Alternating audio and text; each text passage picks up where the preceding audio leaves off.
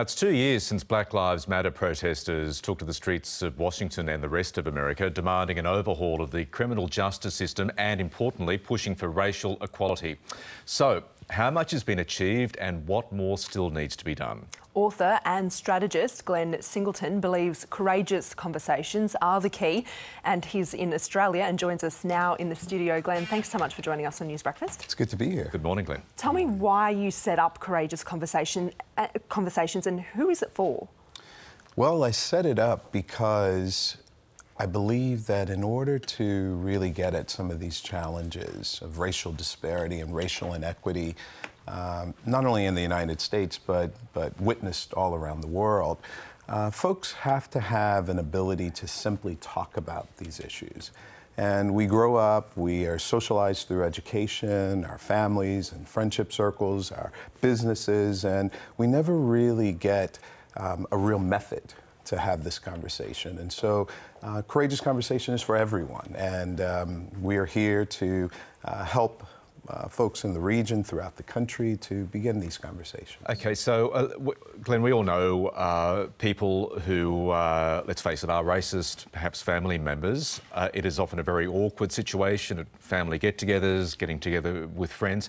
How do you start a, a courageous conversation with one of your family members or friends? Who you believe is racist. How do you approach that? What's, what, what advice have you got for people? Well, I, I think, as you're saying, uh, because we are socialized in a society where racism is pervasive, uh, we need not see this as the problem in the person. We need to see it as something quite normal. And, and so we don't want to marginalize folks. We want to give people an opportunity to talk about their lived experiences.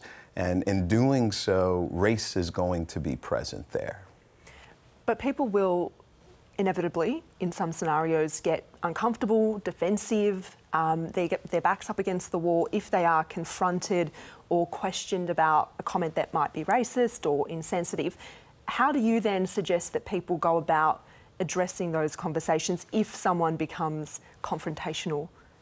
Right, and, and, and as you said, that is somewhat predictable. And, and in the protocol for courageous conversation, which I wrote, um, it actually presumes that folks are going to get uncomfortable. Mm. And, and so, in this way, um, the discomfort becomes normal. And, and while we're talking about something that you've said or, or some behavior, we want to disconnect that from your total being. Mm. So, you have said something that I perceive, perceive to be racist, or you have acted in a way that I perceive to be racist. That's not me calling you a racist. Mm. And, and that's what we hope folks will try to uh, move back from the, the kind of naming of a person in their totality and the positioning of what's just happened here.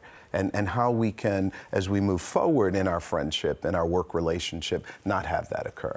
Great advice. Glenn Singleton, thanks for your time and enjoy your stay in Australia. Good to be here. Thank Thanks. you.